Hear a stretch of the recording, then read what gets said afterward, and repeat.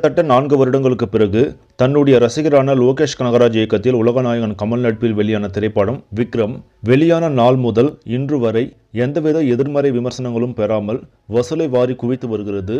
படம் வெளியாகி இருபத்தைந்து நாட்களை கடந்துள்ள நிலையில் உலகம் முழுவதும் இப்படம் ஆயிரம் கோடியை தாண்டி உள்ளது.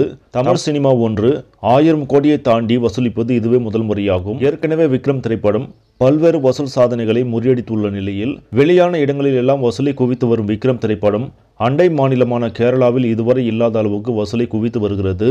அதன்படி படம் வெளியான இருபத்தைந்து நாட்களில் எழுபத்தி மூன்று கோடியை பாக்ஸ் ஆபீஸ் வசூலாக பெற்று சாதனை படைத்துள்ளது. மேலும் கேரளாவில் தற்பொழுதும் கூட நூற்றி ஐம்பது திரையரங்குகளில் மற்ற படங்களை காட்டிலும் அமோக வரவேற்புடன் விக்ரம் திரைப்படம் ஓடி வருகிறது. மேலும் இதுவரை எந்த தமிழ் படமும் அங்கு இவ்வளவு பெரிய வசூலை பெற்றதில்லை என்பதும் நாம் கவனிக்கத்தக்க ஒன்றாகும். இனிவரும் நாட்களிலும் விக்ரம் படத்தின் வசூல் அங்கு தொடரும் என்று சொல்லப்படுகிறது. சரி நம்பர்களே இந்த செய்தி உங்களுக்கு பிடிச்சிருந்தால் லைக் பண்ணுங்கள் ஷேர் பண்ணுங்கள் மறக்காமல் நியூஸ் தமிழ் சேனலை சப்ஸ்கிரைப் பண்ணுங்கள் அடுத்த வீடியோவில் சந்திக்கலாம். நன்றி.